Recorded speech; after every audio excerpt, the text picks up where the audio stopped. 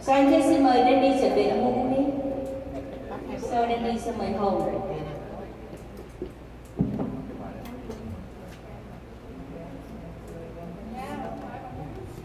Và tiếng kiếp xin chào mừng tất cả các anh chị. Và xin anh chị cho ban nhạc một tràng pháo tay để động viên.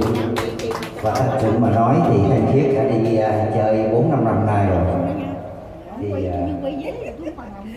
nói thì không phải là nên rút, chứ đây là một cái ban nhạc mà tạo cho cái nhiều cảm xúc và tạo cho mình một cái niềm vui nhiều nhất trong bốn năm năm nay và xin à, một lần nữa xin quý anh chị cho ban nhạc một tràng bỏ tay để động viên ông Trung.